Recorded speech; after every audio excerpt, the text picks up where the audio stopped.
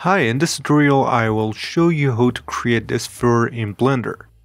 You can use this tutorial to create different types of hair.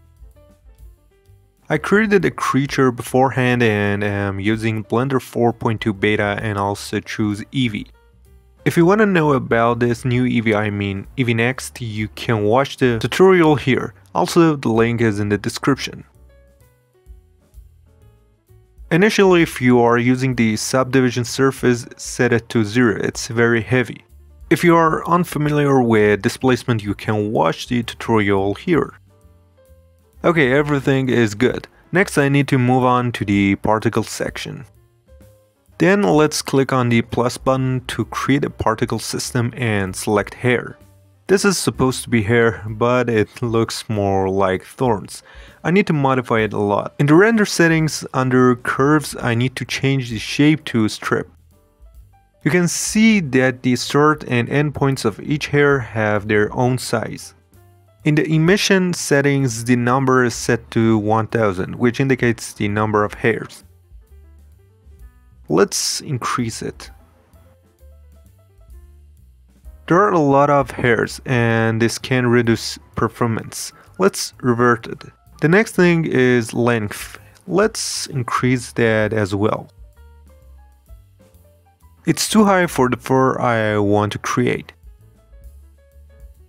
This is better. Actually, I want to apply hair to both the top and bottom parts. A higher segment value results in smoother hairs and more vertices. A value of 5 is good. To simulate hair movement and physics, you'll need to use hair dynamics. If you'd like a tutorial on this, feel free to mention it in the comments. Render part defined the render attribute required at render time, while the viewport specifies the viewport attributes. Steps controls the smoothness level of the hair. Let's set it to 5, similar to the segments, and apply the same change to the viewport. In the children, you can specify how many child hairs each parent hair can have. Interpolated can result in better children. Each hair now has a cluster of hairs around itself. 10 is chosen for each hair, but 100 is selected for render time. It's too high. Let's change the viewport to 100 and see what happens. Oh, uh, that's too much. It's very heavy. Let's revert it for now. I'll change it later. Uh, you can also adjust the length here. The seed determines the placement of hairs. By changing it, you can create a new arrangement. I will ignore some specific fields.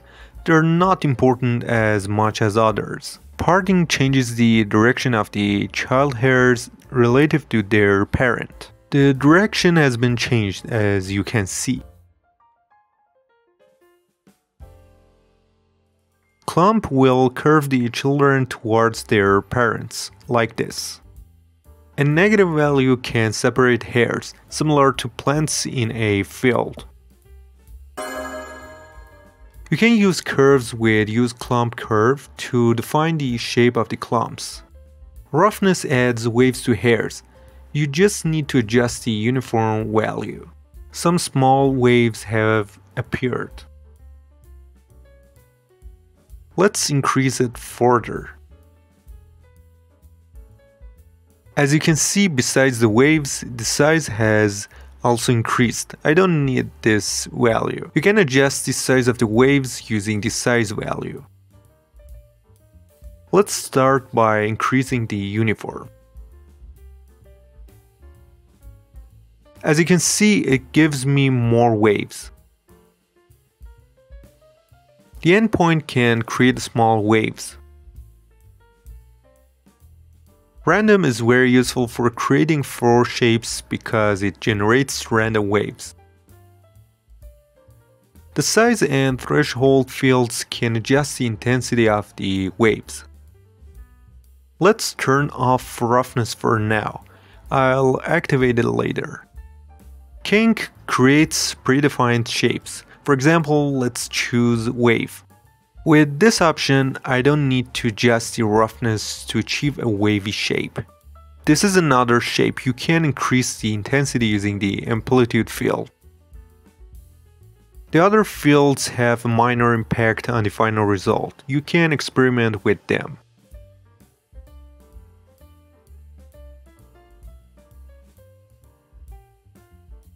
Here's the one of the most important section. You can change the size of each hair. The endpoints of the hairs are too high. I need to reduce them. Strand shape can change the length and the next field can adjust the endpoint size.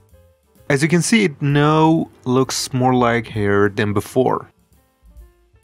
The tip is the size of the start point. Now I need to apply the fur to the bottom and top parts of the body. First I need to disable the particle because it's heavy to process. Next go to the data section. In the vertex group press the plus button. I can paint a specific area on this vertex group. Let's rename it. To paint on the group I need to select weight paint mode. Press Z to switch to solid mode. UI elements are disabled. I need to enable them. Press N where you can select the radius. Blue areas indicate a value of 0 or are masked. Higher weights mean more opacity. As you can see it's red. It also has specific areas with yellow and green colors. I just need to paint where I want to apply the fur. If you want to remove specific red areas you can set the weight to 0.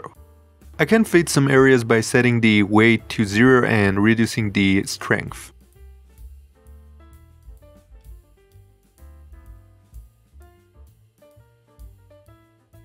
Okay, now let's paint on the top area.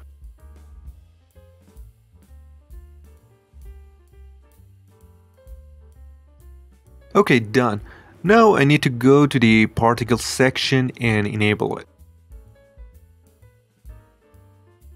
In the vertex group section I need to assign the created group to every field. As you can see fur is applied only to the painted areas. Each field represents a specific aspect of the hair, such as controlling roughness and more. You can see the hairs are short in the specific painted area. Next, I can modify the hair using particle edit mode by selecting it here. Here you can brush on the parent hairs. Press N to open the brush settings. Path steps determine the smoothness level of the hair in edit mode. 6 is good. Radius controls the brush size, while strength determines the brush power. Let's discuss the deflect field. Ensure the brush tool is selected first, then brush on the hair. As you can see, the hair stops moving when it collides with the body within the specific distance. Now let's disable it. Currently, the hair can go anywhere. If I change its value to 3, the collision distance increases. Okay, let's revert it back. You can smooth out the hair using the smooth brush. Or you can add more parent hairs using this brush. It applies symmetrically because mirror X is active. Using the length brush you can reduce the length. And the puff brush does exactly what it sounds like. You can remove some hairs with the cut brush. Weight can adjust the effect of each hair. Okay, let's move the hair in the direction we want. Do it with attention, incorrect directions can ruin the entire shape.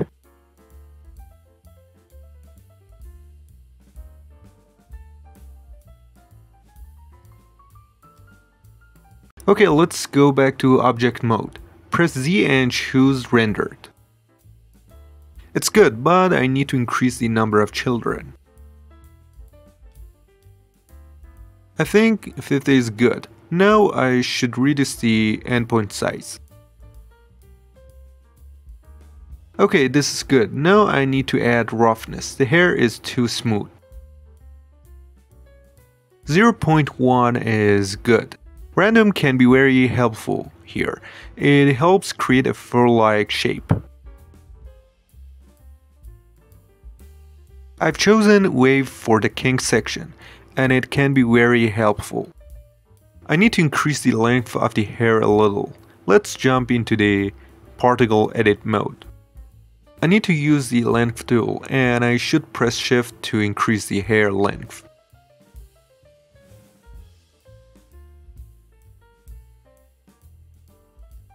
Alright, let's switch back to render mode. You can also add more vertex paints for other areas. Also, you can create more hairs using the plus button. There are no limitations. Or you can copy the hair to other objects. The result is good, I will upload a tutorial on how to create the hair material as well. Rendering in real time is very fast and the result is good, but you can't switch to cycles. It can give you better quality, but be aware that hair can be very heavy for render using cycles. Thanks for watching, if you enjoyed this tutorial please give it a like and don't forget to subscribe to the channel. And if you have any questions or ideas feel free to share them in the comments.